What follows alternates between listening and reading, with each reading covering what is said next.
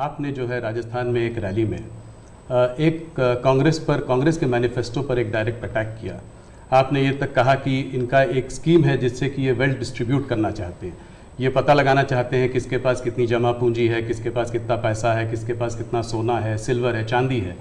और उसको वो मुसलमानों में और घुसपैठियों में बांट देना चाहते हैं। क्या ये थ्रेट इतना रियल है? क्या आपको ऐसा दिखता है? कांग्रेस का जहाँ तक मैनिफेस्टो है कोई मुझे बताए क्या चुनाव के अंदर पॉलिटिकल पार्टियों के मैनिफेस्टो ये कोई शोपिस के लिए होते हैं क्या? सचमुच में तो मीडिया का काम है कि हर एक पॉलिटिकल पार्टी के मैनिफेस्टो की बारीकी से जाँच पड़ताल करे। मैं इंतज़ार कर रहा था कि मीडिया करे। पहले दिन मैंने एक कमेंट तो कर दिया था। जी। मैं कोई आज कर नहीं रहा। जी कि भाई मुझे मैनिफेस्टो देख करके लगता है कि इस पर पूरी तरह मुस्लिम लीग की छाप है। तो मुझे लगा कि मीडिया चौंक जाएगा जो एनालिसिस करने वाले चौंक जाएँगे लेकिन पता नहीं अब उनकी व्यस्तता कुछ और है। मैनिफेस्टो में उनकी तरफ़ से जो परोसा गया उतने ही गुड़ी गुड़ी गुड़ी गुड़ी उछालते रहे। फिर मुझे लगता भी ये तो इकोसिस्टम का बड़ा मिली बगैर लगता है। अब मुझे सच्चाई लेकर जाना पड़ेगा। मैंने काफ़ी दस दिन इंतज़ार किया कि देश इस मैनिफेस्टो में जो बुराइयाँ हैं उसको कोई न कोई क्योंकि निष्पक्ष तरीके से आता है तो अच्छा है। आखिरकार मुझे मजबूरन ये सच्चाइयाँ लेकर के आनी पड़ी। आप देखिए साहब अब उनके एक महाशय ने अमेरिका में इंटरव्यू दे दिया। जी इनहेरिटेंस टैक्स तो इनहेरिटेंस टैक्स की बात ले आए, पचपन परसेंट टैक्स आपकी प्रॉपर्टी अब अब मैं विकास और विरासत की बात कर रहा हूँ, ये विरासत को लूटने की बात करते हैं। तो मैं, और वेल्थ रिडिस्ट्रीब्यूशन की बात करते हैं। और उनके आज तक का इतिहास है, वो करेंगे क्या? तो फिर मेरी जिम्मेवारी इट्स अ मेरी रिस्पॉन्सिबिलिटी है कि मैं देशवासियों को बताऊँ कि भाई ये इस दिशा में ले जा रहे हैं।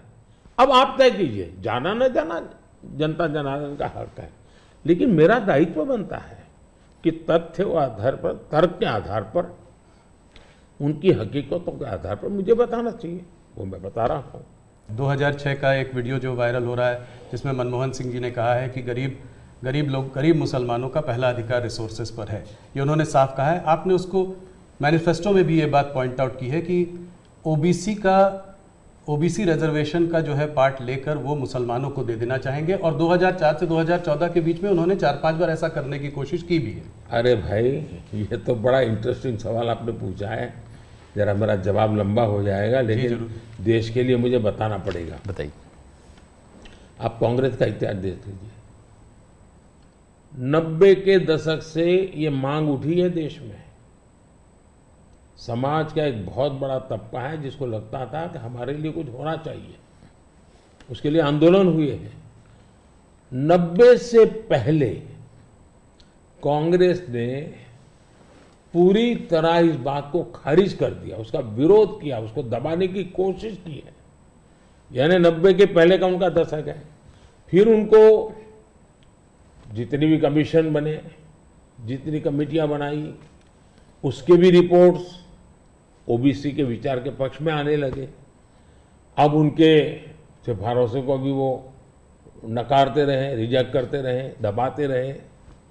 नब्बे के दशक में उनको लगा कि भाई अब इसको जरा उनकी वोट बैंक की राजनीति के अनुसार उसको टन दिया जाए। उन्होंने पहला पाप किया क्या? नाइन्टीज के दशक में कर्नाटका में उन्होंने धर्म के आधार पर, आपको याद होगा कर्नाटका में उन्होंने धर्म के आधार पर मुसलमानों को ओबीसी घोषित कर दिया। यानी देश के ओबीसी को नकारना, उस विचार को दबाना, उस विचार को रिजेक्ट करना, लेकिन राजनीति खातर मुसलमानों को ओबीसी घोषित कर देना। केंद्र से कांग्रेस गई। 2004 तक ये प्लान ठप रहा। उनका इरादा पक्का नहीं हुआ। 2004 में वो फिर आए। तो आते ही आंध्र में मुस्लिम को ओबीसी कोटा ये देना तय कर लिया। मामला कोर्ट में जाके उलझ गया। अब ओबीसी के 27 परसेंट जो आरक्षण में मिला हुआ है, भारत के संसद ने दिया है, संविधान के मूलभूत भावना के प्रकाश में दिया है। सत्ताईस परसेंट शहद लगाने की उन्होंने तैयारी कर दी। डाका डालने की कोशिश की। 2006 में नेशनल डेवलपमेंट काउंसिल की मीटिंग हुई थी एनडीसी की। मनमोहन जी के बयान पर बहुत बड़ा हंगामा हो गया। दो साल कांग्रेस पूरी चुप रही। 2009 के घोषणा पत्र में फिर से इसका ज़िक्र किया। 2011 में कैबिनेट नोट है इसका। 2011 के कैबिनेट नोट में ओबीसी के 27 परसेंट हिस्सा डाका डाल करके उसमें से मुसलमानों को दे देना उन्होंने तय किया जी। 2012 यूपी चुनाव में भी उन्होंने इसकी एक असफल कोशिश की, फ़ायदा नहीं हुआ। 2012 आंध्र हाईकोर्ट ने इसको रिजेक्ट कर दिया, रद्द कर दिया, कानूनी जजमेंट आ गया। एससी में गए सुप्रीम कोर्ट में गए, वहाँ भी उनको कोई रिलीफ नहीं मिला। 2014 के घोषणा पत्र में भी धर्म के आधार पर आरक्षण की बात कही है। जबकि हिंदुस्तान का संविधान जब बना, तब तो कोई आरएसएस वाले बीजेपी वाले संविधान सभा में नहीं थे। बाबा साहब आम्बेडकर जैसे लोग बैठे थे, पंडित नेहरू जैसे बैठे थे, सरदार वल्लभ भाई बैठे थे, देश के कई महापुरुष बैठे थे। उन सबने लंबे चिंतन के बाद तय किया था कि भारत जैसे देश में धर्म के आधार पर आरक्षण नहीं दिया जा सकता। 2024 के चुनाव में आप देख रहे हैं, उनका मैनिफेस्टो और मैंने कहा, इस पर पूरी तरह मुस्लिम लीग की छाप है। यानी मुस्लिम लीग ही नीतियाँ उन्होंने अपना शुरू किया।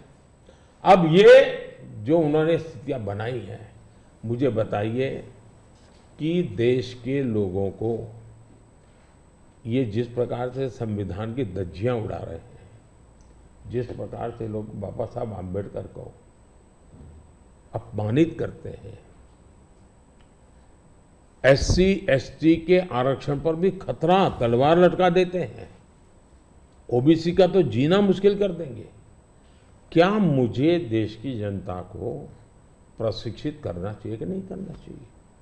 मैं सभी, जो भी विद्वान लोग हैं जो कलम के धनी हैं, जो निष्पक्ष हैं, उनका ये दायित्व बनता है कि ऐसे समय देश को वो एजुकेट करें। सही चीज़ें बताएँ।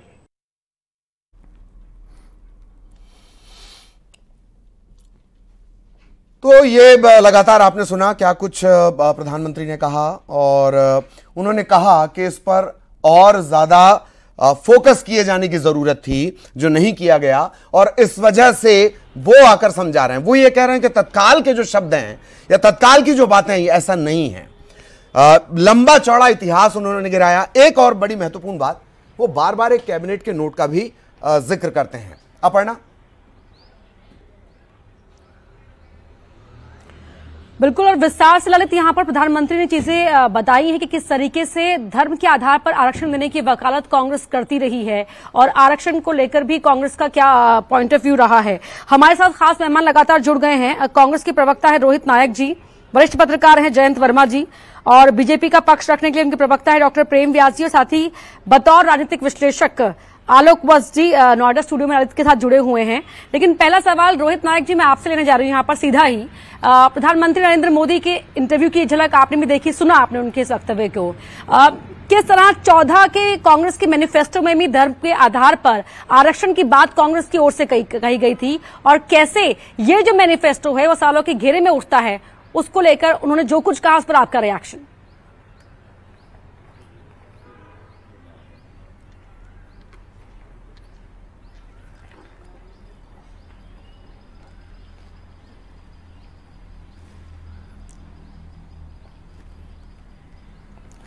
रोहित जी आपसे मेरा सवाल था।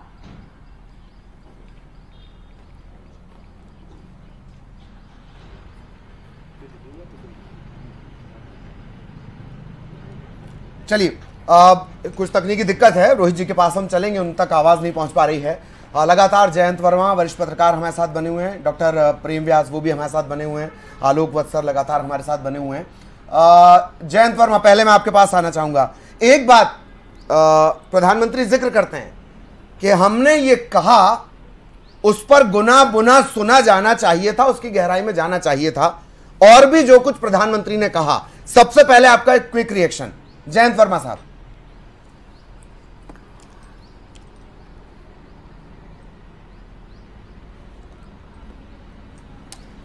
सबको चलिए। क्या? मेरा ख्याल है कि जयंत वर्मा साहब अभी जुड़ नहीं पाए हैं। आलोक वत्सर लगातार बने हुए हैं।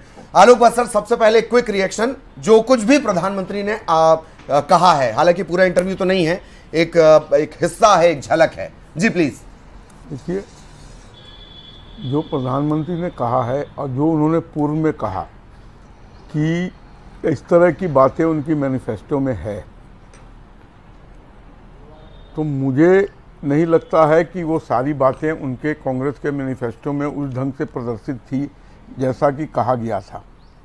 लेकिन ये ज़रूर है कि अपीजमेंट की पॉलिसी खासकर मुसलमानों के प्रति, उनकी शुरू से रही है, जिसको बार बार लोगों ने देखा है और उनके नेताओं ने भी समय समय पर उस तरीके के बयान दिए हैं। तो अभी के स्थिति में एक चीज़ तो तय हो गई है कि जिस तरीके, जिस दौर में ये चुनाव 2024 का आ गया है और जिस तरीके की भाषा का प्रयोग सब दल मिलके कर रहे हैं, वो अपने सबसे लोएस्ट स्तर पर चला गया है।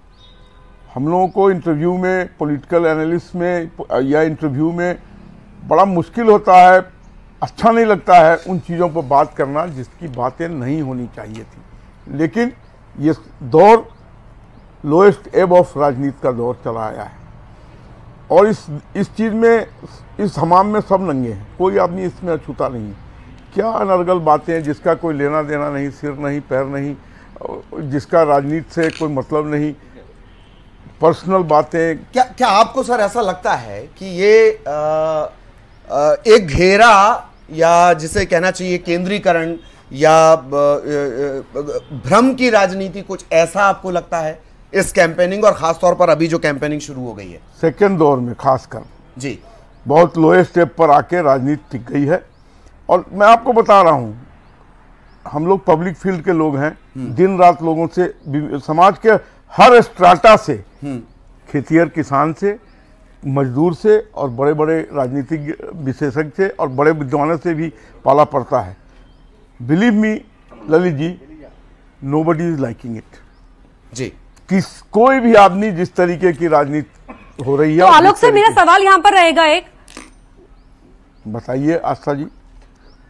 आप पढ़ना जी आ, मेरा सवाल जी आलोक जी मेरा सवाल आपसे ये रहेगा कि आ, जो अपीजमेंट ऑफ़ पॉलिटिक्स का ज़िक्र आपने भी किया और खुद ए के एंटनी की एक रिपोर्ट भी आई थी चुनाव जब कांग्रेस हारी थी देश का कि किस तरह से जो कांग्रेस की तुष्टिकरण की राजनीति कह लीजिए या जो उनका पॉलिटिकल स्टाइल रहा उससे जनता के बीच कहीं ना कहीं ये छवि बन गई कि कांग्रेस एंटी हिंदू है और उसने एक बड़ा नुकसान कांग्रेस को उसके सियासी करियर में पहुँचाया है। लेकिन जो अब बयानों का आप ज़िक्र कर रहे हैं किस तरह से राजनीतिक बयानबाजी का जो स्तर है वो बहुत नीचा हो गया है तो क्या ये डेस्परेशन दिखाता है? Yes hundred percent you are right ये डेस्परेशन एक्सपेरेशन एग्जॉर्शन एग्जॉस्टेड सब कुछ कहिए कि तर्कस में सारे तीर खत्म हो गए तो इन सब तीरों से निकाल के आहत करने की कोशिश की जा रही है। और ये बिल्कुल ही होना नहीं चाहिए। किसी भी वर्ग से, किसी भी दल से, किसी भी तरीके से ये नहीं आना चाहिए। किस स्तर की राजनीति की बात कर रहे हैं हम लोग? किस स्तर की डिबेट की बात कर रहे हैं हम लोग? क्या सीख दे रहे हैं नौजवानों को? क्या सीख दे रहे हैं युवाओं को? क्या सीख दे रहे हैं महिलाओं को? अरे, राजनीति करनी है तो खुल के कीजिए, लेकिन अबव द बेल्ट कीजिए। Don't hit below the belt किस तरीके की बातें हो रही हैं? है? मैनिफेस्टो में कुछ है बोल कुछ रहे हैं कहीं कुछ है है। बोल कुछ रहे हैं। ऐसे थोड़ी चलता है। और मैनिफेस्टो पढ़ता कितना आदमी है? हिंदुस्तान बड़ा सम्रांत देश है। साठ परसेंट लोग यहाँ के पढ़े लिखे हैं। लेकिन मेरे समझ से शायद दो परसेंट आदमी भी मैनिफेस्टो नहीं पढ़ता होगा। अगर आप किसी भी दल के आदमी को खड़ा कर दें और वर्कर को कहें कि अपने मैनिफेस्टो की बीस बातें बता दो तो वो शून्य में चला जाएगा। वो आसमान ताकने लगेगा। लेकिन जो स्तर आ गया है डिबेट का वो बहुत ही घटिया है। मुझे कहने में आपके प्रेस्टिजियस चैनल पे कोई हिचक नहीं है। इसको ऊपर आना चाहिए। डॉक्टर प्रेम व्यास भी जुड़े हुए हैं। बीजेपी के प्रवक्ता है हमारे साथ आलोक जी लौटेंगे हम आपके पास। डॉक्टर प्रेम व्यास जो राजनीति में भाषा का स्तर गिर रहा है उस पर तो आपका रिएक्शन लेंगे ही साथ ही। जो प्रधानमंत्री ने ये कांग्रेस के मैनिफेस्टो को लेकर चीज़ें गिनवाई है धर्म के आधार पर आरक्षण की वकालत कांग्रेस का ये स्टैंड और कांग्रेस वहाँ से हमलावर है कि संविधान और आरक्षण को खत्म करना चाहती है बीजेपी।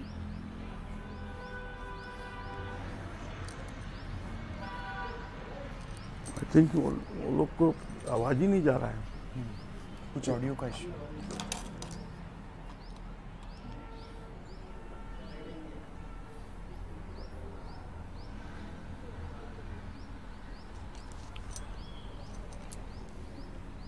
डॉक्टर प्रेम सुन पा रहे हैं क्या आप हमें?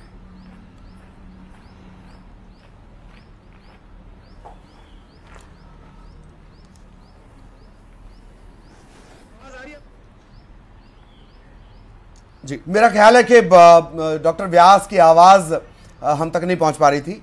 लेकिन हम फिर कोशिश कर रहे हैं। कुछ टेक्निकल ग्लिचेस हैं और व्यास साहब मैं चाहूँगा एक बार फिर थोड़े टेक्निकल ग्लिचेस हैं वो ठीक हो जाएँगे। मैं चाहूँगा आप व्यास साहब एक बार फिर जरा अपना जवाब शुरू से शुरू करें प्लीज़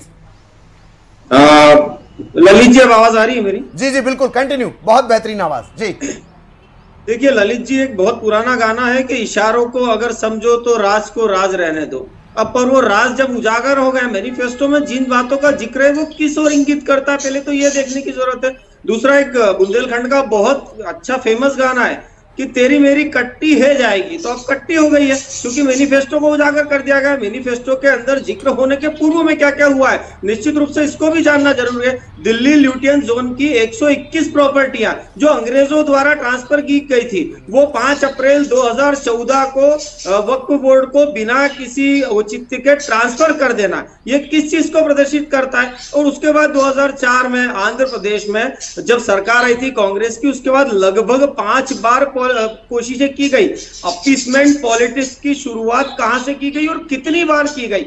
मई 2004 में सरकार बनी, उसके बाद में दो महीने बाद, इस जुलाई 2004 में लगभग पाँच प्रतिशत आरक्षण के लिए प्रयास किए गए, जिसको माननीय हाईकोर्ट ने रद्द करा।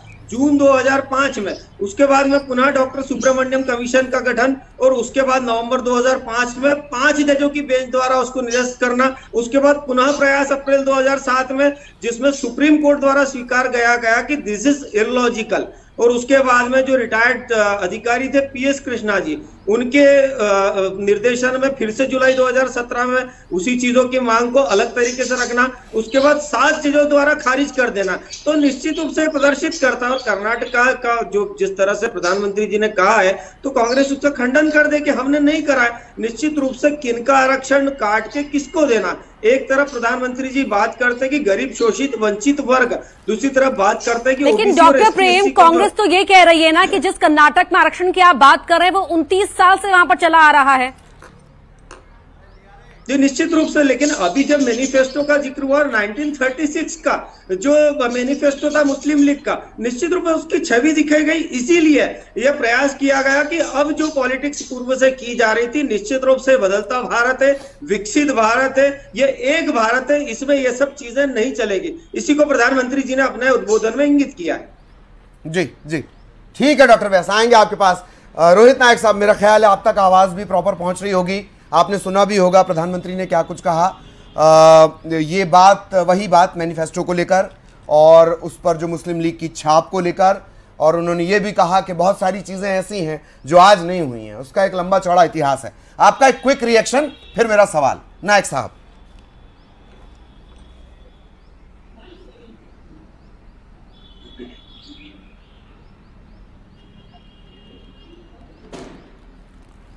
छाप की बात कह रहे हैं तो कलकत्ता अधिवेशन में किसने मुस्लिम लीग का साथ दिया और पाकिस्तान की फॉर्मेशन के लिए कब हिं, कहाँ हिंदू राष्ट्र कब बनना चाहिए और कब मुस्लिम राष्ट्र बनना चाहिए इसके बारे में जो प्रस्ताव पारित हुए वो भी इतिहास में गड़े हुए हैं। तो मुझे लगता है कि पहले क्या मुस्लिम लीग का और हिंदू महा, महासभा का जो इतिहास है उसको पहले पूर्ण रूप से भाजपा को पढ़ लेना चाहिए और लोकल बॉडी पहुंचानी हाँ, चाहिए। लोकल बॉडी इलेक्शन में जब मुस्लिम लीग की मदद ली थी आरएसएस ने मतलब संघ ने उसकी बात कर रहे हैं आप मेरा ख्याल है।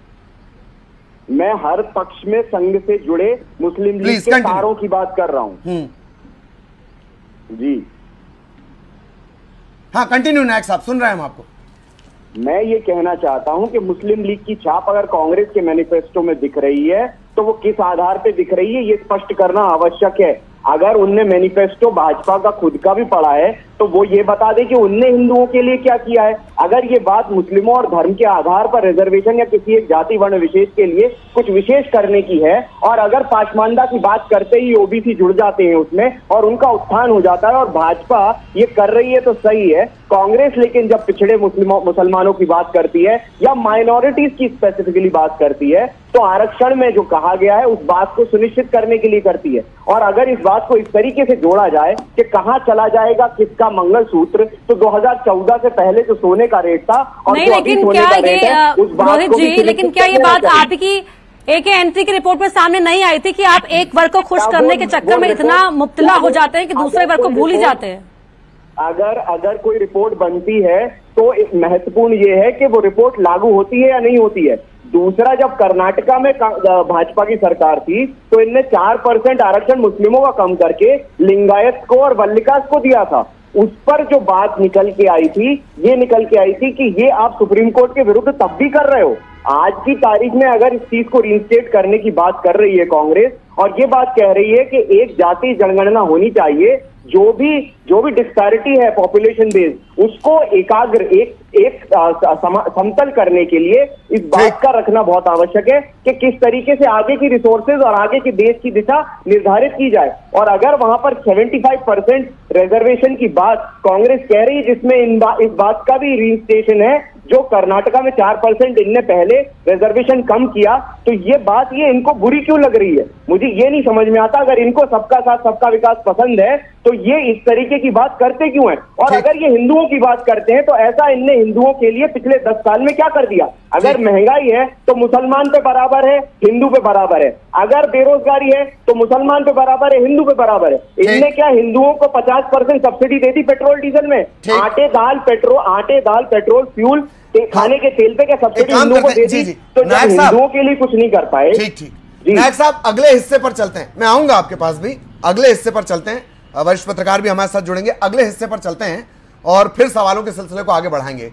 तो कांग्रेस मैनिफेस्टो पर पीएम मोदी को आपने सुना।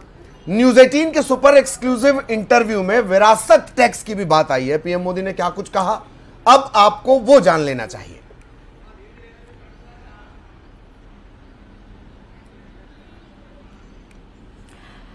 बिल्कुल, विरासत टैक्स को लेकर बीजेपी कांग्रेस पर हमलावर है। साथ ही सैम पित्रोदा के बयान का भी यहाँ पर हवाला दिया जा रहा है। किस तरह से प्रधानमंत्री नरेंद्र मोदी ने विरासत टैक्स के मुद्दे पर कांग्रेस को घेरा है? दर्शकों को सुनवाते हैं।